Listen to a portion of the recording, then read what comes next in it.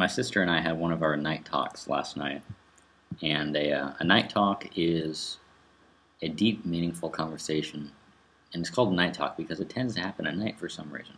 It started out, she wanted me to uh, read her a selection assigned to her by her English class from the autobiography of Orlando Equiano, and uh, we read and read and finally, when it was over, she was could hardly stay awake. And I asked her, uh, "So, what do you think of it? Do you have any evaluations?" And she says, "It was good." And I said, "Yeah." But uh, one thing I think he kept driving home was that slavery in Africa was comparatively much nicer than slavery by the whites. Uh, this over and over again in many different ways, showed, tell, told, and uh, I got thinking, why is that so? Well, I think it was because uh, the white people were civilized. The white people had a complex division of labor.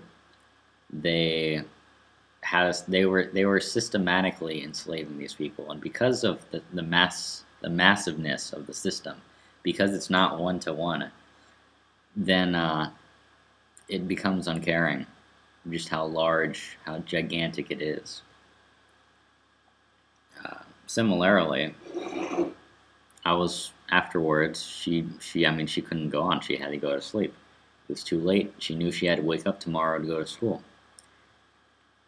So why are these night talks always at night? I used to think a lot of different things like the ideas would be coming up to the surface of the pool at night getting ready for dream time or maybe because there's no distractions or because it's more private because uh, you know the deeper into the night it gets the more private it does get. It's just two people. Nobody else is going to just walk in because they're asleep.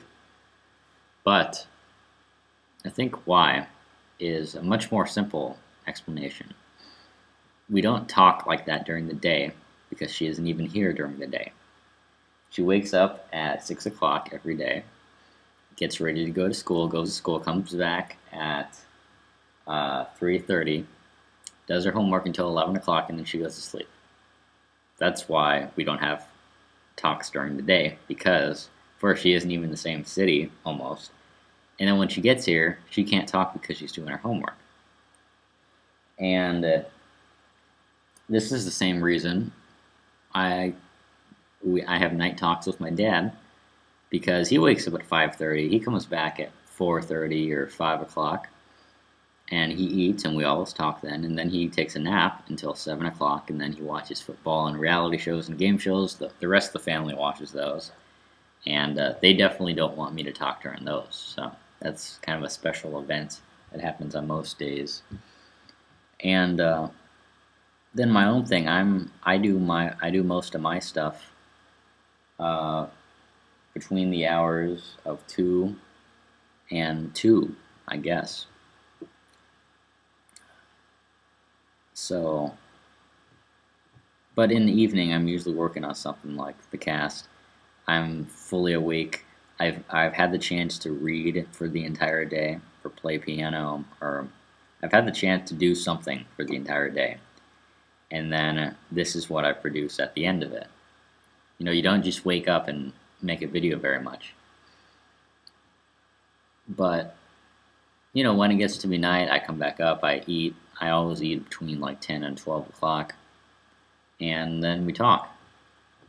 But we don't talk that much because, I mean, you can't, you can't, you don't save up a conversation. You, if you wake up in the morning and it's 11 o'clock you think, hmm, I gotta have this conversation with somebody. It's more dull because the inspiration was 13 hours ago or something. Civilization tears the family apart because my dad has to go to sleep. He has to because he knows he has to wake up at 5:30 the next morning and leave for the entire day. My sister has to go to sleep because she knows she has to wake up at 6 o'clock and be gone the entire day. She has to go to work. The uh, more increasingly specialized our jobs are, the more those those people with specialized jobs have to travel a longer distance, or just all congregate into one single area called maybe an urban center or a city. It's unfortunate that the uh, it's a consequence of the complex division of labor. A simple division of labor would be, uh, you know, more like a small town, less than that even. If uh, all if our labor consisted of doing housework, of doing subsistence agriculture, of maybe tutoring the kids next door, that would be a lot different existence, and the family would be much more familial instead of you know there's not even anybody home right now because they're all gone doing something that is required of them